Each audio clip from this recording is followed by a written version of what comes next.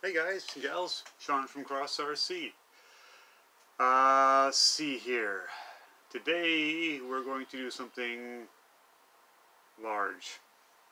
Got a box here that uh, was told I need to open up and show, so let's open it and show it. Um, from what I can tell so far, it says flagship version and obviously it says cross. It's also very large. So, let's see. Some of you might be able to tell what this is because they're supposed to be pre-ordered on the site right now. Um, so we'll see what we have here. What we have is brown box inside a brown box. Oh.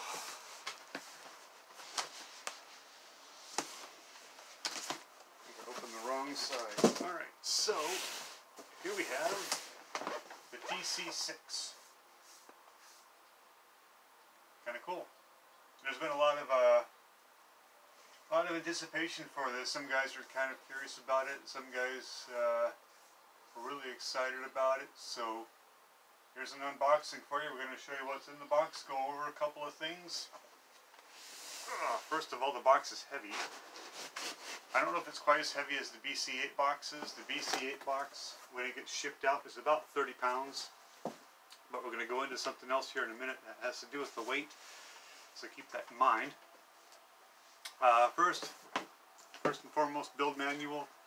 I like the cross build manuals. Some people are complaining that they're not very uh, precise or not very accurate, but in reality, the fact that they show you the hardware, they show you step by step everything that needs to be done to assemble the chassis.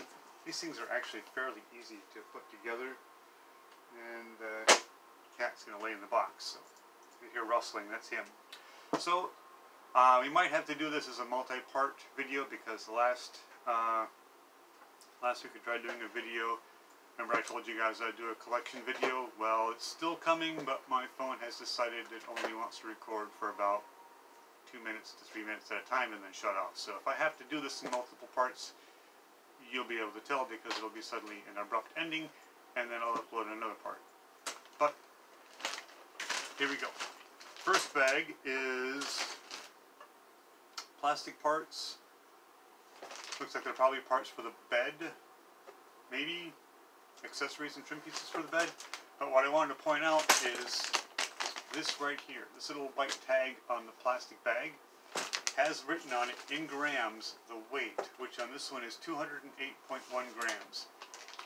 Ever since the SP4, I think it was, uh, we have uh, mandated the cross weigh every single bag to ensure that every part's in there. That way you're not missing anything. So as long as the tag is on there, you know it was weighed before it left the factory. I get to dump this on the cat. Next up we have, looks like air tank ends, some small detail pieces. That's kind of neat. Here we have fuel tanks, check part of the exhaust on this side. Uh, oh, another, yeah, definitely part of the exhaust because here's the other half of it here. Looks like a step. So there's some pretty nice stuff there. Still recording, still recording. Awesome. Steering wheel and door skins, and what looks like maybe a battery dot box is one of the side steps. Uh, your speaker box, and looks like some trim pieces or build pieces for the side of the chassis. No, I don't really know what most of these are, but I'm going by what I remember from other kits. This one looks like wheel covers, and now this is kind of neat. Um, if you look at some of the kits out there that have the molded uh, or cast metal chassis, or cast metal parts, you don't see a lot of detail in them. Well, you do see detail, but it's molded in on cross. Like, for instance, these little tie-down stanchions here, and these little loops and these little tie down pieces here, they're all molded as a separate piece that you have to glue onto the bed. So that's kind of a neat feature with the Cross RC trucks. The detail is immense.